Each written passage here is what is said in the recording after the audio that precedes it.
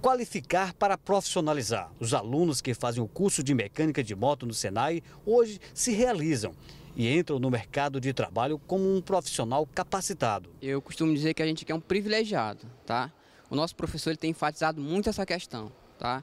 É atenção, sensibilidade, tá?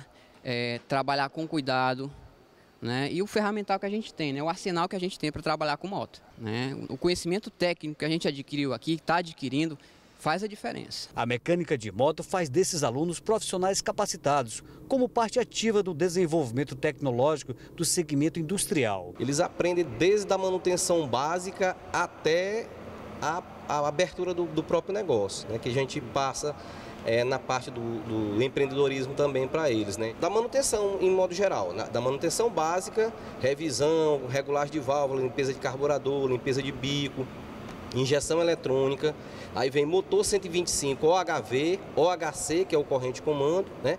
E um motor até 250 a gente demonstra para eles, eles, eles aprendem a abrir e fechar o motor corretamente. Oferta e qualificação para esses jovens e oportunizar uma mão de obra automotiva e atender às demandas do mercado. É isso que o Senai está fazendo. O Senai, né, através da, que é ligado também à FIEP, nós temos é, constantemente atualização das oficinas. Inclusive é uma oficina bastante atualizada. Nós temos motos novas, motores também, carros novos. Então assim, a gente procura sempre estar atendendo a necessidade do mercado mercado não só para homens, né? Não, não. Nós temos também alunas mulheres, não só em motocicleta, como também é, soldas, soldadoras, é, carros também e outros cursos que a gente oferta. Porque o mercado de trabalho ele procura é, pessoas qualificadas, independentemente do sexo, né? Tanto masculino como feminino.